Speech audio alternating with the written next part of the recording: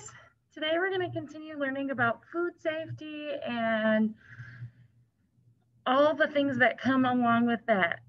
So today we're going to read another story that comes from Melanie Makes a Meal. And this is about putting away the groceries and where you're supposed to put certain items because in order to be safe, you have to put items in a certain place. So Melanie is home with bags of groceries. She is ready to put the groceries away for later. So when you get home, you should definitely put your groceries away. You don't want to leave them out because food may become bad. Things that go in the freezer would melt. Stuff like that could happen. Melanie sorts the groceries. Food can be stored differently in the kitchen. So there's quite a few different places where you could store different foods. Let's see what Melanie does. So some food can be stored in a cabinet. Melanie places the box of breadcrumbs in the container of brown sugar in the cabinet. So there's lots of different foods. You can look from this picture that she has up there. She has other things in there like chips and flour and sugar, things like that, cereal, any like mixes for making waffles or pancakes, uh, your bread, Stuff like that can all be stored in what we usually call a pantry, or most of us have like a cabinet where we put those types of food. Some food must be stored in the refrigerator. So Melanie places the packages of ground beef in the refrigerator.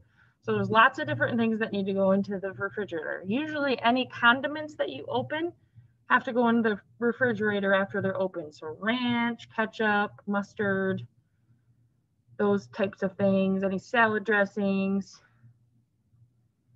meats are another big thing that would have to go into the refrigerator and you have to be careful about how you store them because you don't want them to drip juices onto other foods. Lots of vegetables go in the fridge, although not all of them. Milk, cheese, butter, all those things usually end up in your fridge, eggs. Some food must be stored in the freezer. So Melanie places the package of frozen vegetables in the freezer. So a good way to think about what probably can go in the freezer or what should go into the freezer is if you bought it in the freezer section at the store, it should go into the freezer at your house. So, you know, any frozen food like a frozen pizza or frozen veggies, ice cream, any frozen meats, that you might buy can go back into the freezer. There's lots of things that belong in the freezer. Sometimes though, you can buy things that were refrigerated at the store that you might want to freeze. Like for instance, I always buy a turkey burger because I don't like ground beef and it typically only comes in a three pound package at the store. I don't eat three pounds of meat in for one meal. So usually I section it up into one pound packages and I freeze two of the packages to use at a later time. So that way the meat stays fresher longer and I can use it later. Some food can be stored out on the counter or kitchen counter. Melanie leaves the onions and potatoes out on the counter. So there's quite a different type of things that you could leave out on the counter, including vegetables, some fruits, right? Typically we don't put apples in the fridge or bananas, avocados, like she did, onions and potatoes. Those are things that you leave on the counter or out in a cupboard somewhere at room temperature.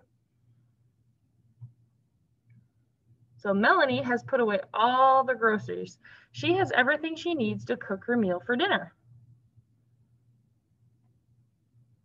And that is the end of the story. So here are some words that we read about in this story if you want to look those over. I've also included with this lesson um, a picture sort for different food items and where they, they belong. So students can get that out now. First step would be to cut out all the, the pictures and then you can have your students sort them into whether they go in a pantry or a cabinet the freezer or the fridge. And then you'll want to talk about why those items go in those different places. I hope you learned a little bit today about food storage and how to store it safely. Have a great day, and I'll see you guys next time.